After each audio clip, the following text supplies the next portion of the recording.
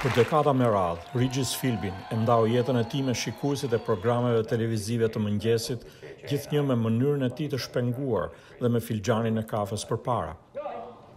Ai do të mbahet mend gjithashtu për programin Kush dëshiron të bëhet milioner, i cili për një periudhë të shkurtër u bë spektakli më i shikuar televiziv i Amerikës.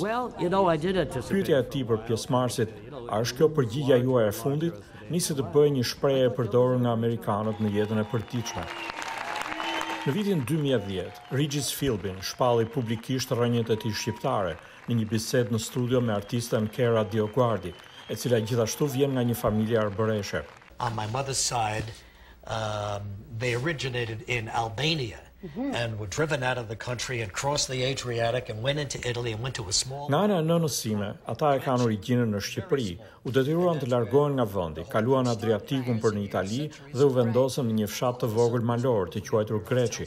Kjo ka ndodhur shekuj më parë, tha Philbin. My cuz. Ai tregoi për shikuesit një tabelë gjenealogjike ku dilnin rrënjët arbëreshe të familjes së tij që u vendos në atë fshat në kohën e Skënderbeut.